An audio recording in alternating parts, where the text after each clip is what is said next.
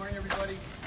My name is Phil Linehan. I'm the Veterans Services Officer of the Town of Bedford. And welcome all of you here to Shawsheen River for a very brief ceremony as we remember our fallen sailors. We're going to begin by having Hoffa Smith, U.S. Navy veteran, lead us in prayer, followed by the tossing of the bouquet of flowers into the river, and then taps.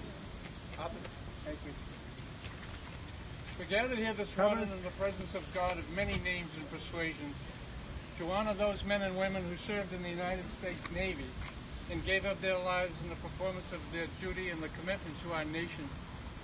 Their service occurred in many parts of the globe, but, but with perhaps one common element, water.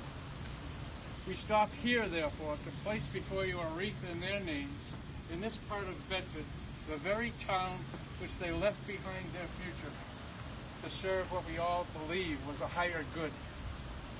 We know, God, it cannot be underestimated the danger that these folks face and the willingness